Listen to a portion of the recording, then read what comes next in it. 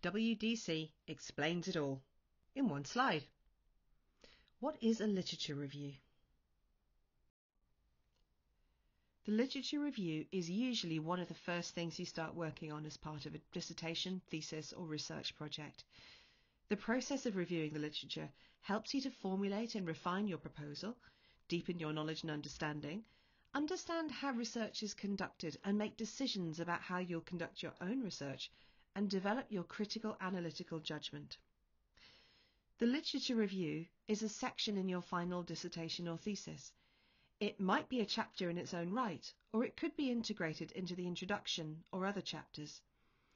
The role of the literature review is to demonstrate your grasp of the literature in your field as it relates to your topic and show that you know what you're talking about. Outline the history of research on this topic and show that you're aware of all the key developments rather than duplicating work unawares.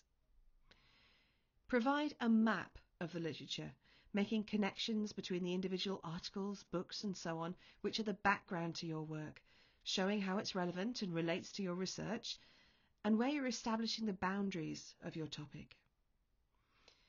Identify the themes, debates, schools of thought, established areas, and emerging trends in the literature, and situates your work within them.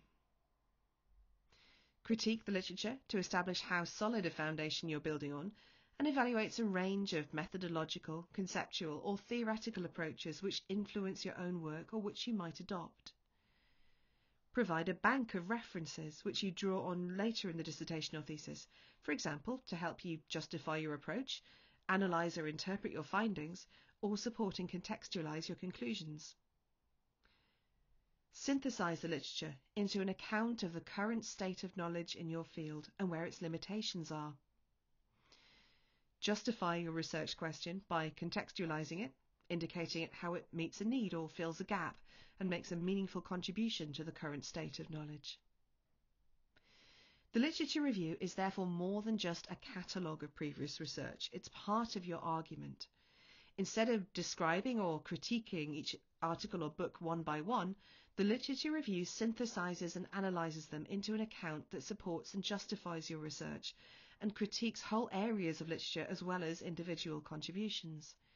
Some of the literature that you're reviewing will be more central and you might wish to give it a more in-depth treatment. Other texts will be more peripheral and you might want to consider them in conjunction with other similar research more briefly. Your selection and organisation of literature that you review depends on its relationship to your research. So there's no single answer to how to decide what's relevant or not, or how to structure it. That's up to you.